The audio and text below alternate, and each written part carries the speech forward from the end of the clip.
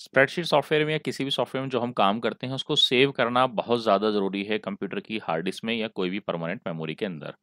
अभी जो भी स्क्रीन पे आपको नज़र आ रहा है, ये सिर्फ़ अभी हमारे टेम्परेली हमें स्क्रीन पर नज़र आ रहा है, ये हमारी कंप्यूटर में स्टोर नहीं हुआ है। अगर किसी वजह से ये बंद हो गया आपकी फ़ाइल करप्ट हो गई तो हमें इसकी कॉपी नहीं मिलेगी।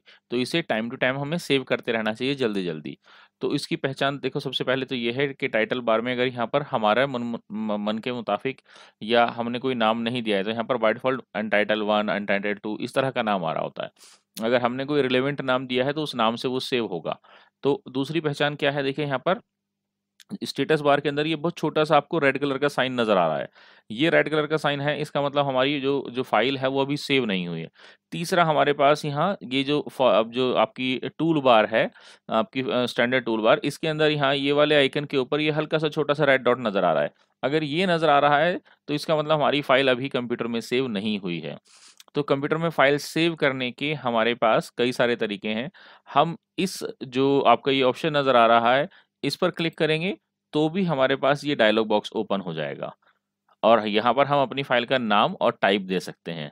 इसके अलावा यही ऑप्शन ओपन करने के लिए हमारे पास दूसरा तरीका है। हम फ़ाइल में जाके सेव ऑप्शन यूज़ करेंगे तो भी हमें यही डायलॉग बॉक्स ओपन मिलेगा। इसके अलावा हम शॉर्टकट की यूज़ कर सकते हैं कंट्रोल प्लस एस अगर हम कंट्रोल प्लस एस करेंगे तो भी हमें यही डायलॉग बॉक्स ओपन होकर मिलेगा। यहाँ पर हम अपने जो भी फ़ाइल है उसका नाम देंगे। हम यहाँ पर जो है क्लास नाइन में यहाँ पर इसका नाम दे देता हूँ। जो भी हमें रिलेवेंट लगता है, वो नाम हम यहाँ पर देकर सेव कर देंगे। दूसरी चीज़ जो हमें यहाँ ध्यान रखनी है, वो हम फ़ाइल का टाइप या उसकी एक्सटेंशन है। बाय डिफ़ॉल्ट जो डॉक्यूमेंट आप स्प्रेडशीट सॉफ्टवेयर यानी कैल्क के अंदर सेव करते हैं, वो डॉट ओ होता है। ये याद रखिएगा एग्ज़ाम में क्वेश्चन आता है इससे रिलेटेड डॉट ओ उसकी एक्सटेंशन होती है। इसके अलावा हम और दूसरे फॉर्मेट से जो है यूज़ कर सकते हैं। जैसे हम एक्सेल के फॉर्मेट में यूज़ करना चाहते हैं तो यहाँ पर हमारे पास एक्सेल का फॉर्मेट है एक्स एल एस एक्स अगर इसमें सेव करेंगे तो ये एक्सेल में ओपन हो पाएगा, लेकिन अगर ओडीएफ में करेंगे तो ये एक्सेल में ओपन नहीं होगा।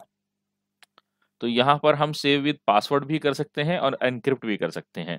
पासवर्ड से सेव करेंगे तो ओपन करने के लिए पासवर्ड ही चाहिए होगा। और हम यहाँ पर इसका नाम देने के बाद हम सेव पर क्लिक कर देंगे। ये फ़ाइल हमारी सेव हो गई। तो अब देखिए यहाँ पर हमारे पास जो हमने नाम दिया था टाइटल बार के अंदर वो नाम चेंज हो गया। दूसरा यहाँ से जो वो रेड डॉट था वो भी चला गया और तीसरा हमारे पास जो यहाँ पर ये रेड कलर का सिंबल आ रहा था वो भी हट गया है। तो अगर हम कोई भी चेंजेस, अब अगर मैं यहाँ पर सपोज़ कीजिए इस ट्वेंटी की जगह इसकी वैल्यू ट्वेंटी टू कर देता हूँ तो देखिए, मैंने फ़ाइल में कोई चेंजेस किए जो सेव नहीं हुए हैं अभी तक। तो देखिए, दोबारा से ये कलर रेड हो गया यहाँ पर और ये रेड डॉट नज़र आ गई। यानी हमने कॉपी तो सेव कर ली अपनी फ़ाइल की, लेकिन उसमें कोई ऐसे चेंजेस कर दिए जो हमने अभी अपडेट नहीं किए हैं। तो उसके लिए हम बहुत सिंपली या तो कंट्रोल एस शॉर्टकट की प्रेस करके उसको अपडेट कर लेंगे या यहाँ पर क्लिक कर देंगे या फ़ाइल में से जाकर हम सेव पर क्लिक करेंगे तो भी वो सेव हो जाएगा। तो हमें जब भी हम काम कर रहे हैं तो हैबिट बनानी चाहिए कि बार बार हम या तो कीबोर्ड से कंट्रोल एस प्रेस करते रहें या थोड़ी थोड़ी देर बाद जाकर हम इस सेव वाले बटन पर क्लिक करते रहें, ताकि हमारी फ़ाइल में जो भी हम अपडेट करते जा रहे हैं वो परमानेंटली सेव होते रहें। किसी वजह से अगर हमारा कंप्यूटर शट डाउन हो जाए या हैंग हो जाए तो ऐसा ना हो कि हमें हमारी फ़ाइल का कुछ हिस्सा ना मिले। तो हम इन अलग अलग तरीके से फाइल्स को सेव कर सकते हैं ताकि ज़रूरत पड़ने पर हम उसको दोबारा से ओपन करके उसका यूज़ कर सकें। इस वीडियो में इतना ही। वीडियो अच्छी लगी हो तो इसको लाइक कीजिए। चैनल को अभी तक सब्सक्राइब नहीं किया है तो सब्सक्राइब कर लीजिए ऐसे ही इन्फॉर्मेशनल वीडियोस के लिए। अपने फ्रेंड्स के साथ शेयर भी कीजिए। थैंक यू वेरी मच मिलते हैं नेक्स्ट वीडियो में। बाय जय हिंद।